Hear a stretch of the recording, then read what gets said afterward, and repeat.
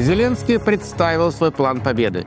Он означает войну между Россией и НАТО, но западные союзники Украины пока к этому не готовы. Лидер Христианско-демократического союза, крупной политической партии Германии Фридрих Мерц призывает предъявить России 24-часовой ультиматум и снять ограничения на использование немецкого оружия. Китай проводит военно-морские учения у берегов Тайваня и репетирует блокаду тайваньских портов. Как ответят на это Соединенные Штаты?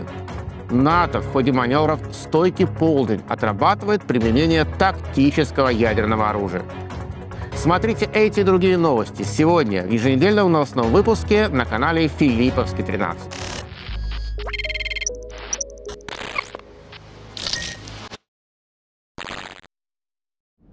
Всем привет! Вы на канале Филипповский 13, и сегодня у нас еженедельные новости мировой политики. И, конечно же, самая главная новость этой недели – Зеленский наконец-то представил свой план победы над Россией, причем не где-нибудь, а в Верховной Раде Украины. До этого, еще в сентябре, Зеленский ездил по Европе и знакомил с этим планом западных лидеров британского, американского, немецкого, французского и итальянского. И вот теперь решил поделиться со своими собственными гражданами и со всем остальным миром. Итак, что же это такое план победы Зеленского? Он содержит в себе пять пунктов. Во-первых, приглашение Украины в НАТО еще до окончания войны. Во-вторых, продолжение операции на территории России и снятие ограничений по ударам на стратегическую глубину. Совместное с партнерами поражение российской авиации, расширение использования украинских дронов и ракет, доступ к разведданным партнеров. В-третьих, размещение на территории Украины неядерного сдерживающего пакета. В-четвертых, развитие стратегически экономического потенциала Украины и усиление санкций против России. В-пятых, После окончания войны украинские военные могут использовать свой опыт для укрепления обороны НАТО и Европы. Контингент США в Европе смогут заменить украинские военные. По словам Зеленского, второй, третий и четвертый пункты плана содержат некие секретные статьи, о которых знают только союзники Украины. Если в общих чертах комментировать данный план, то очевидно одно. НАТО должна, согласно плану Зеленского, напрямую вступить в войну с Россией. Потому что Россия не один раз говорила о том, что если Запад снимет ограничения на удары с дальнобойным оружием по российской территории на стратегическую глубину, то за Россией не заржавеет. И Россия будет носить удары по западной инфраструктуре, по целям на Западе, за пределами Украины, разумеется. Поэтому это война, это Третья мировая, война в Европе и, скорее всего, ядерная. НАТО от такой перспективы всегда старалась отползти. Стратегия Альянса и его лидера Соединенных Штатов Америки как раз и заключается в том, чтобы воевать с Россией руками Украины, помогая ей. Но до последнего времени западные державы всячески увиливали от прямого столкновения с Российской Федерацией. И тут Зеленский им прямо и говорит, а давайте-ка начнем. Если более подробно разбирать планы этого пункта. Пункт номер один. Принятие Украины в НАТО до окончания нынешнего военного конфликта. Для России это абсолютно неприемлемо, но это также неприемлемо и для Запада. Да, на экспертном уровне в западных странах говорилось, что давайте-ка примем Украину с теми территориями, которые она де-факто контролирует.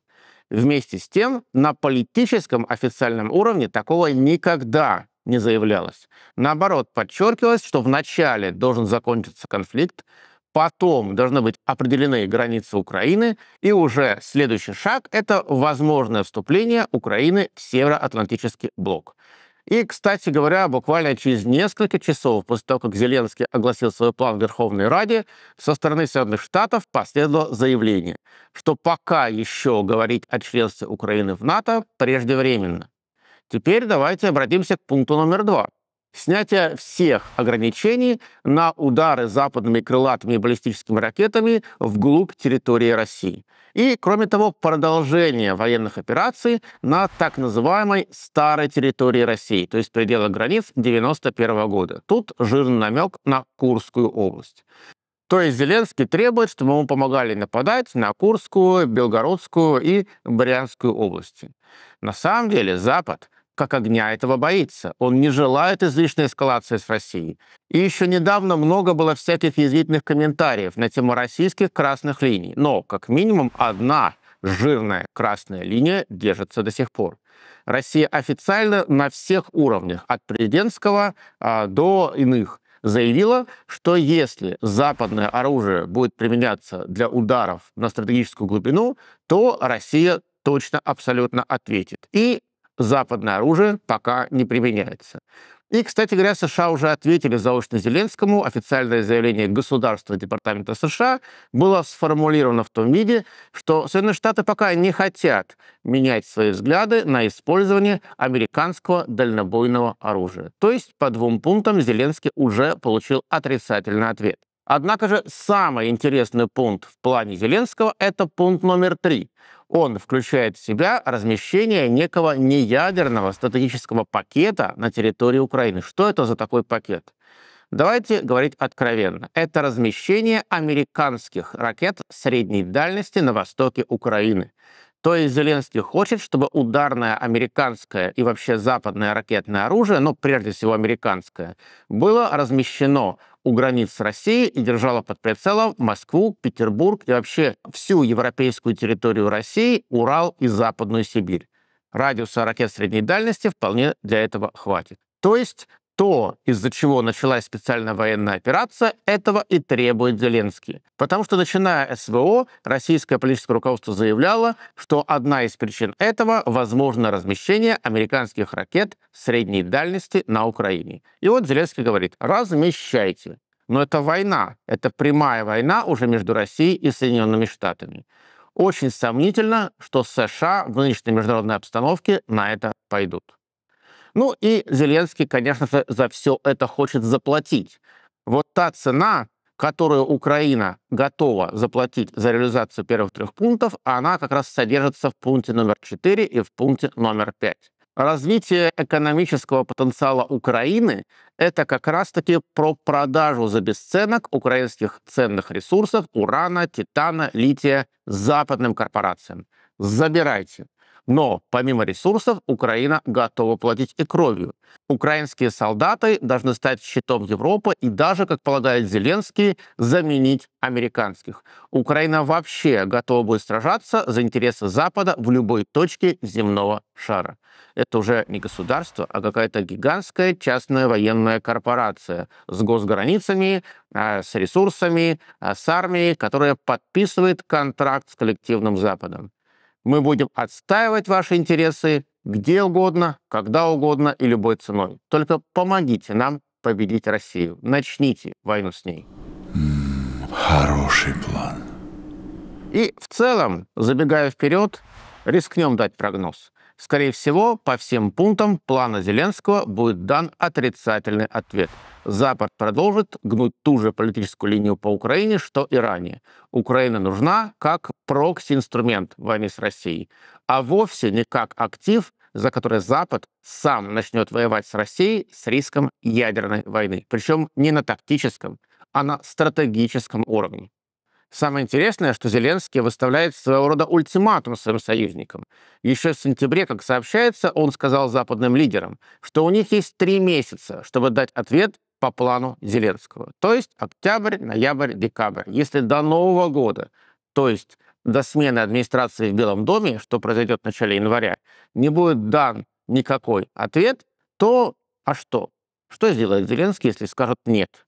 Ожидать можно чего угодно в особенности от политика, который загнан в угол своими же собственными ошибочными решениями и толком не знает, что ему делать дальше. И, судя по всему, не очень адекватно воспринимает политическую реальность. Однако же выступление Зеленского сопровождалось бурными и продолжительными аплодисментами Верховной Ради. Вся украинская политическая элита – абсолютно вся, практически без исключений, подписалась под планом Зеленского. Есть ощущение, что все эти люди рассматривают самих себя как плывущих в одной лодке с Зеленским. То есть никакого раскола в украинских элитах, во всяком случае на верхнем уровне, нет. Они все готовы идти до конца. И российское политическое руководство должно это учитывать, вырабатывая свое отношение к этим политическим деятелям. Следующая новость прилетела из Германии, и здесь отличился крупный немецкий политик. Глава Христианско-демократического союза – это одна из крупнейших и старейших политических партий Германии и крупнейшая оппозиционная партия. Есть шансы, что на выборах осенью будущего года именно она придет к власти. Фридрих Мерц сделал потрясающее заявление, примерно в тон Зеленскому. Призываю дать России 24-часовой ультиматум по прекращению боевых действий. В случае невыполнения требования снять ограничения на дальность оружия для Украины и передать ракеты «Таурус». После такого заявления Фридриху Марксу можно задать только один вопрос. А что, если Россия откажется выполнять ультиматум? А что, если после удара немецкими ракетами по Москве и Петербургу российские ракеты в неядерном оснащении полетят по Берлину или по Русскому промышленному району. А что, если после этого США скажут «разбирайтесь сами» и не введут в действие пятую статью Вашингтонского договора о создании НАТО? Что будет тогда делать Фридрих Мерц? Почему он ведет себя именно так, абсолютно непонятно. Вообще, с немецкой политической элитой происходит что-то странное после начала специальной военной операции. Но, в принципе, это все легко объяснимо. Именно Соединенные Штаты накручивают градус дискуссии в немецком политическом истеблишменте. Потому что, собственно говоря, всю современную политическую систему Германии и создали США. После окончания Второй мировой войны с конца 40-х годов Соединенные Штаты много вложились в создание в Западной Германии политической системы с несколькими партиями. Фактически Западная Германия как политический институт, как государство была создана в Вашингтоне. А после объединения Западной Германии и Восточной, а на деле это было поглощение, то есть Западная Германия поглотила ГДР, вот эта самая американская политическая система была перенесена и на почву Восточной Германии. И уже единая Германия стала фактически тем политическим конструктом, который в конце 40-х годов прошлого века создавали американцы. Христианско-демократический союз — это, конечно же, американская креатура, как и Свободная демократическая партия Германии, как и партия «Зеленых», которая, конечно, была не в конце 40-х годов создана, и в 60-е годы она была совсем другой. Но в 70-е и 80-е американцы перехватили управление этой партией. Фактически только с натяжкой социал-демократическую партию Германии можно назвать относительно независимым проектом. Ну и такие проекты, как «Союз Сара Вагенкнехт», «Альтернатива для Германии», «Новые немецкие партии». Но ХДС, ХСС, СВДП, ряд других организаций — это, конечно же, американская креатура. Так вот, Фридрих Мерц на самом деле выступает таким фронтменом американских элит. Они прощупывают готовность России принимать вызов. Такие резкие заявления, что от Германии, что от Польши, что от Прибалтики — это зондаж. Если Россия на такое не будет отвечать, дальше будет гораздо сложнее. Поэтому лучшим ответом Фридриху Мерцу будет, например, выступление лидера одной из политических партий России в Государственной Думе и четкий ответ. Если немецкие ракеты полетят на Москву, российские полетят по Берлину. И никакие исторические аналогии нас не пугают. Следующая новость не имеет отношения к военной тематике, но она показательна. Она говорит о том, что мировой войны, возможно, и не случится. Потому что, как мы иногда говорим на канале Филипповский 13, сложно воевать при капитализме. Сообщается, что Украина, Азербайджан и Словакия ведут негласные переговоры о транзите газа через территорию Украины. Контракт на транзит российского голубого топлива из России в Европу через Украину заканчивается в конце этого года. Газ Европе нужен. Как бы Европейский Союз не хотел отказаться от российского газа, все равно без него европейская экономика не проживет. Но для Украины по политическим мотивам невозможно продолжать транзит именно российского газа. Раньше, когда был договор, можно было ссылаться на него. Это же был договор, подписанный еще в 2019 году, поэтому транзит идет. Но подписать новый договор с государством, которое проводит в отношении Украины специальную военную операцию, сложно. Поэтому капитализм нашел интересную формулу. А давайте-ка сделаем так, что газ будет не российским, а азербайджанским. То есть европейцы будут покупать газ на границе России и Азербайджана. Дальше Россия становится таким же транзитером газа, как и Украина. Газ через российско-украинскую территорию транзитом идет в Европу. Фактически львиная доля этого газа будет российская. Однако же на бумаге этот газ будет азербайджанским, ну или еще каким-нибудь. В общем, придумали формулу, которая может обойти острые политические противоречия.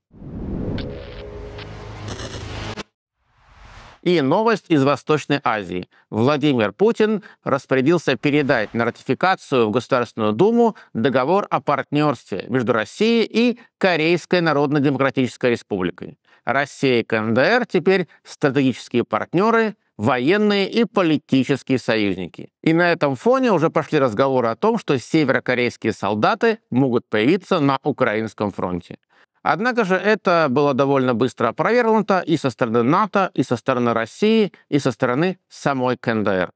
Но в Корее, тем не менее, происходят очень интересные процессы, буквально исторические. Дело в том, что Корейская Народно-Демократическая Республика больше не хочет объединять Корею. И теперь можно забыть про поход на юг со стороны Ким Ир Сена. Теперь Северная Корея мыслит себя самостоятельным государством, которое никакого объединения с югом не хочет и, более того, даже ожидает нападения с юга.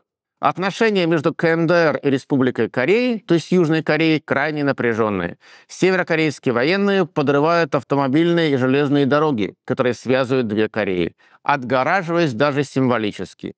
Мы, Север, это одно, а вы, Юг, это совсем другое. Момент исторический, но почему-то его очень плохо отражают в медиаполе. Такого не было никогда. Фактически КНДР заявляет, не будет никакого объединения с Югом. Юг пошел своей дорогой, а мы своей. И это навсегда. Тем временем Североатлантический альянс готовится к продолжению прокси-войны с Россией и на всякий случай тренируется, если вдруг эта прокси-война перейдет во что-то большее. В частности, новый генеральный секретарь НАТО Марк Рютте, который ранее был голландским премьером, анонсировал создание нового натовского штаба в Висбадене, который будет координировать боевые действия на Украине и помощь этой стране.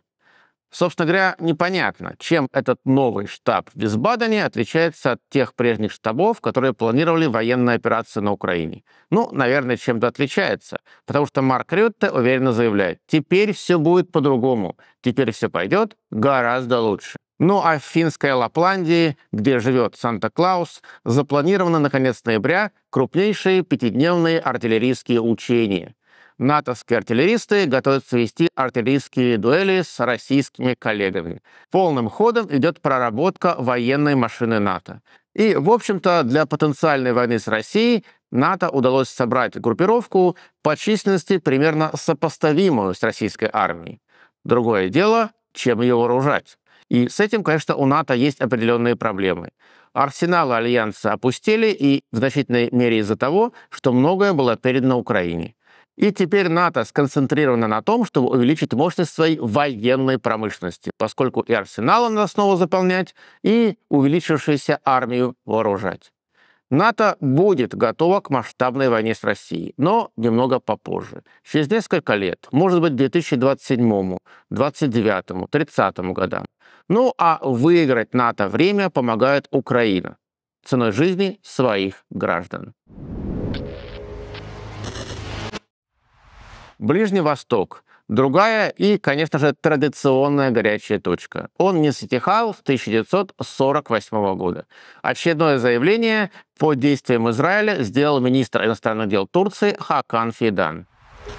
Мы достигли черты, после которой бессмысленны слова, дипломатия и международная политика. Мы должны начать вводить санкции. Своего министра иностранных дел поддержал и президент Турецкой республики Реджеп Эрдоган. Мы заявляли при каждой возможности, что Израиль не остановится в секторе Газа и нацелится на другие страны региона. Высокомерие Израиля, напавшего и угрожающего временно миротворческим силам ООН, достаточно, чтобы доказать серьезность проблемы. Вид ООН, которая не может защитить даже свой собственный персонал, позорен и тревожит международную систему. Честно говоря, мы тоже задаемся вопросом, чего ждет Совет Безопасности, чтобы остановить Израиль. А чего ждет Совет Безопасности? Он ждет, что когда-нибудь американцы перестанут применять право вето для того, чтобы защитить Израиль. Но они не сделают этого никогда. Израиль ведет себя так, как он ведет, потому что за его спиной высится большой патрон – Соединенные Штаты, который обладает в ООН правом вето. И пока эта ситуация не изменится, а как же она может измениться? Все будет продолжаться по-старому. Турция, конечно же, с одной стороны, жестко критикует Израиль, но, тем не менее, санкции против него вводить пока серьезно не собирается и продолжает оставаться крупнейшим торгово-экономическим партнером еврейского государства. В общем, на словах на Израиль оказывают давление все, а на деле ему противостоит только Иран со своими ближневосточными прокси-инструментами в виде Хизбаллы, шиитских ополчений Ирака и Сирии, а также йеменских хуситов. Теперь Латинская Америка. Президент Венесуэлы Николас Мадуро обвинил американского бизнесмена Илона Маска в том, что тот потратил более миллиарда долларов на его свержение. Вот, оказывается, Маск не такой добрый миллиардер, который берет и планирует полеты на Марс и Луну и развивает космическую программу. А оказывается, он хочет свергнуть политический режим в Венесуэле. Венесуэла стала для американцев каким-то фетишем. Вначале при Трампе пытались свергнуть Мадуру при помощи оппозиционного кандидата Гуайдо. Тогда все это курировал помощник Трампа по национальной безопасности Джон Болтон, провалил задачу свержения Мадура, поругался с Трампом и ушел в оппозицию к нему. И теперь уже при Байдене все равно американцы пытались свергнуть Мадура, обвинив его в фальсификации выборов. И оказывается, в этом активно еще участвовал, ну, якобы, конечно, по словам Николаса Мадура, Илон Маск. Вот такой разносторонний получается Илон Маск бизнесмен. Он и в космос, он и в Венесуэлу, он и плетет политические интриги и думает о высадке человека на Марс. Широкие у человека политические и научные интересы. Но Маск Маском, а китайцы начали масштабные военно-морские учения у берегов Тайваня и отрабатывают блокаду тайваньских портов. Еще такое название красивое придумали для учений – «Совместный меч».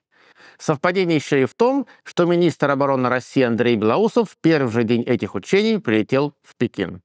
Китайцы всерьез говорят о том, что Тайвань они американцам не отдадут. Если Тайвань прогласит независимость, то тогда китайские военные начнут свою специальную военную операцию на острове. Но при этом китайцы сохраняют оптимизм и предполагают, что объединить Китай с Тайванем можно мирно. Самое интересное в том, что на Тайване нет ни одной серьезной политической силы, которая выступала бы за воссоединение острова с Китаем. Американцы тут зачистили политическую поляну, и других вариантов, кроме как независимости Тайваня, не осталось. Либо независимость де-факто, как это сейчас, либо де юре. Но если де юре — это война, а если де-факто, может тянуть резину бесконечно. Но китайцы тянуть резину не хотят. К 2027 году у них заканчивается программа перевооружения военно-морского флота, и китайские ВМС станут сопоставимыми по силам с американскими в бассейне Тихого океана китайцы начинают давить. Давить в военном плане, давить в политическом плане. И перед Тайванем стоит выбор, что со всем этим делать. Вопрос перед Тайванем только один. Американцы поддержат его или нет? Пока американцы однозначно заявляют, да, мы даем Тайваню наши военные гарантии. И поэтому, в отличие от украинского сюжета, китайская военная операция на Тайване означает прямую войну Пекина и Вашингтона. Ну и вообще, помимо Тайваня, в Восточной Азии неспокойно. Про Корею я уже сказал, а еще в Южно-Китайском море регулярно происходит столкновение китайских и филиппинских судов. Например, на этой неделе в очередной раз китайский корабль береговой обороны таранил филиппинское рыболовецкое судно. Это уже обычная практика в Южно-Китайском море, даже нечему тут и удивляться. Узбекистан станет третьей страной в мире после Китая и Объединенных Арабских Эмиратов, которые официально признают режим Талибана в Афганистане. Ну, все к этому идет. Я думаю, Россия тоже скоро признает талибов официальной властью в Афганистане. Во всяком случае, талибы уже куда только не ездили в России. И на ПМЭФ они ездили, и на саммит БРИКС в конце октября в Казани не поел. То есть тут э, нечему особо удивляться. Парад признания Талибана, пусть и медленный, он э, начнется. Узбекистан стал просто третьим в списке. И уже в ближайшие дни посол талибов вручит верительные грамоты президенту Узбекистана Шавкату Мерзиееву. Теперь новости БРИКС. Скоро в Казани, как я уже сказал, будет саммит. И сербский вице-премьер Александр Вулин дал интервью немецкой Berliner Zeitung и заявил там, что для Сербии вступление в БРИКС может стать альтернативой вступлению в Европейский Союз. Если членство в БРИКС привлекательно для других стран, таких как Объединенные Арабские Эмираты, Саудовская Аравия или Турция, то почему для Сербии ситуация должна быть иной? Так что нет никаких сомнений в том, что присоединение к БРИКС стало реальной альтернативой ЕС.